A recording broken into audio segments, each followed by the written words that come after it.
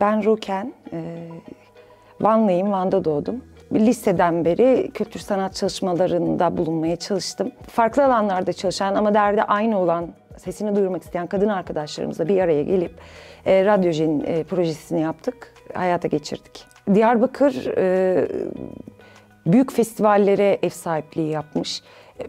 Yani e, yerel yönetimler zamanında, daha öncesinde de aslında çok farklı kültürlere ev sahipliği yapmış bir kent. Dolayısıyla e, bir sürü farklı dilde, farklı e, etkinliğin yapıldığı, çalışmaların yapıldığı bir alan. Merkezlerin kapatılması ve bu anlamda bir baskının e, olması meselesi özellikle de kadın alanında büyük dertlerimizden biriydi yani. Söz söyleyecek bir alanın kalmamış olması. Ve e, podcast bunun için büyük bir e, şeydi, imkandı, olanaktı. E, Dolayısıyla öğrenelim dedik. Hem öğrenelim hem de bir sürü başka kadın da bundan faydalanabilsin, e, öğrensin diye düşündük. Projede de e, 36 kadın arkadaş faydalandı. Toplumsal cinsiyet atölyeleriyle başladık. Daha sonrası da podcast nasıl yapılır, en imkansız hallerdeyken nasıl yaparız, en iyi teknik koşullara sahipken nasıl yaparız? Önümüzdeki süreçte de hazırlıklar devam ediyor. Bu podcastlerle bir sürü farklı alanda bir sürü kadına ulaşmış olacağız. Radyojin e, kültür için alan tarafından desteklenen bir proje.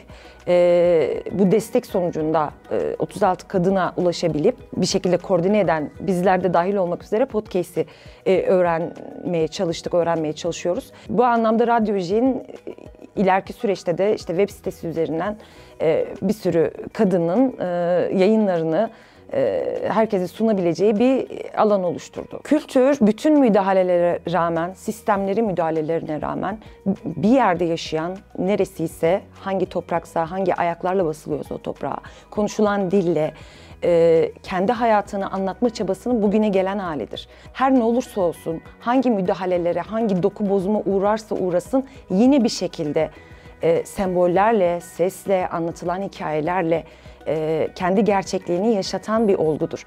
Bir sürü müdahaleye ve yasağa rağmen şarkılarla, ağıtlarla, masallarla, e, şakalarla, giyim kuşamla, e, sanat aracılığıyla özellikle bugüne gelen şeydir. Hafızamızı diri tutan şeydir.